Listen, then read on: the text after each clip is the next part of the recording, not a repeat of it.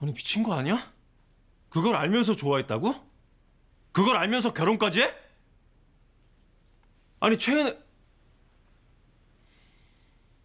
아니 그 사람 사랑했잖아. 아버지랑 인연 끊고 집 나가 살림까지 차릴 정도로 그래놓고 그 사람 동생이랑 결혼을 해? 지금 이게 말이 되는 상황이야? 결혼 약속까지 한 후에 알게 됐어. 안 뒤엔 이미 돌이킬 수가 없었고.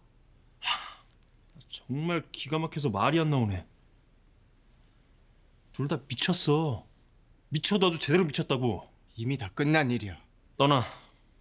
최소원이랑 그 애 데리고 이민이라도 가라고. 아니, 그렇게 못해. 못해? 그럼 아버지 속이고 계속 이렇게 살겠다는 거야? 아버지한텐 죄송한 일이지만 어쩔 수 없어. 아버지 건강도 안 좋으신데 충격받게 해드릴 수 없으니까. 그게 걱정돼서 말을 못하는 거라고? 가식 떨지 마. 최소원이랑 그 딸 잘못될까 봐 두려운 거잖아.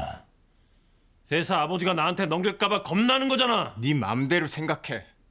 야 한재혁! 어머니가 비자금 만든 이유 너 때문인 거 알아. 그걸 알고도 밝히지 못하는 지금 내 심정이 어떤지 알아? 너 그거 알면 입 다물고 조용히 있어.